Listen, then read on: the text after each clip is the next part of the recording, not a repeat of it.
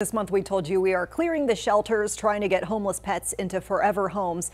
And we've also shared along the way how local shelters are so crowded and it has been forcing staff at these shelters to make hard decisions about which pets can stay and live and which ones get put down to make room for the flood of new animals coming in.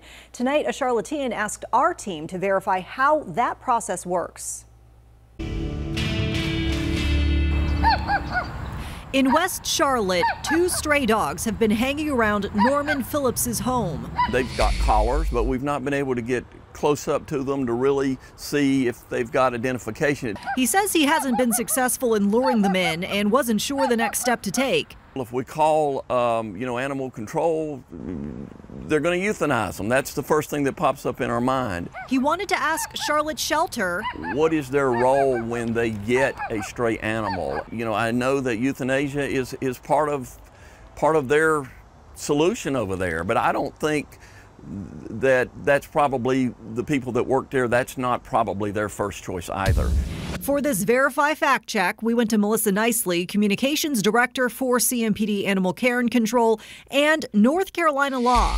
Animals just don't get come just don't come into the shelter and automatically be euthanized. Nicely says North Carolina law outlines a period of time the shelter must hold a pet, allowing the owner time to reclaim it. That period is 72 hours.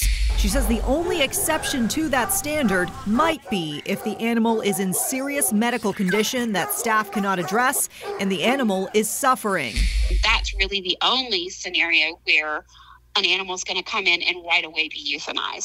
Nicely says due to high kennel capacity right now, any animal lingering after its 72 hour hold and moving to the adoption floor can be considered at high risk for euthanasia. That said, she says staff tries to select the sickest and those feeling the mental toll of kennel life first behavior deterioration. It shows in the kennel presence. It shows it barking heavily at the front of the kennel, pacing, jumping, nipping. Once you get it out of the kennel, it may it may start mouthing, you know, at your hands or nipping at your pants, and just overall being a very high stress level.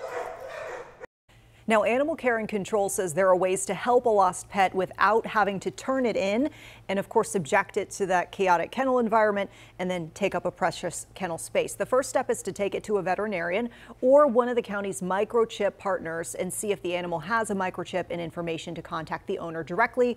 We have that information on our website, by the way. If you think you can temporarily care for the pet, report it to the shelter. CMPD has a form where you can upload details on the pet and its picture so anyone looking for it can find it. By the way, if you have the pet, are harboring it somehow or feeding it, and you don't report it within 24 hours, you are violating a city ordinance.